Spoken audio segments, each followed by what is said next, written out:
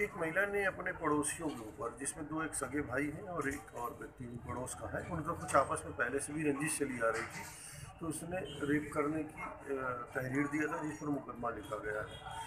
अब विवेचना में जो भी तथ्य आएँगे, अगर दोषी हैं तो उनके विरुद्ध कार्रवाई की जाएगी। विवेचना प्रचलित है